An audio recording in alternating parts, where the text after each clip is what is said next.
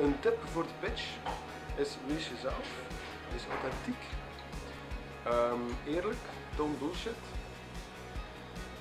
En als je een idee hebt hoe dat je dat best vertelt, is probeer het uit te leggen aan je bomma, die zat is en die de dag erop moet vertellen aan haar vriendin in de kaartjesclub. En al de vriendinnen moeten weten waarover het gaat. Zo simpel moet het zijn.